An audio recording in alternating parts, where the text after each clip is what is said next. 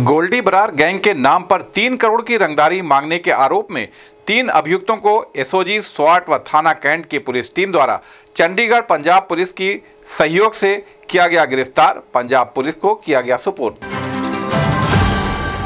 गोरखपुर विश्वविद्यालय के संवाद भवन में कुलपति प्रोफेसर पूनम टंडन की अध्यक्षता में संस्कृत एवं प्राकृतिक भाषा विभाग उज्जैन मध्य प्रदेश द्वारा प्रायोजित अखिल भारतीय वैदिक संगोष्ठी का संवाद भवन में किया गया आयोजन। विभिन्न बिंदुओं पर की गई चर्चा। एडीएम फाइनेंस विनीत कुमार सिंह ने जनपद में हुई बारिश पर कहा कि जनपद में हुई बारिश गेहूँ फ़सलों के लिए है काफ़ी लाभदायक।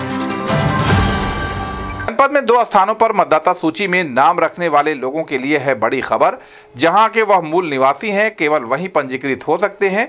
दूसरी जगह पर पकड़े जाने पर कारावास व जुर्माने का है प्रावधान। एडीएम फाइनेंस विनीत कुमार सिंह ने दी जानकारी। योगी सरकार के द्वारा पास हुए बजट को लोगों ने बताया कल्याणकारी, कहा यह बजट उत्तर प्रदेश को ले जाएगा नई ऊंचाइयों पर।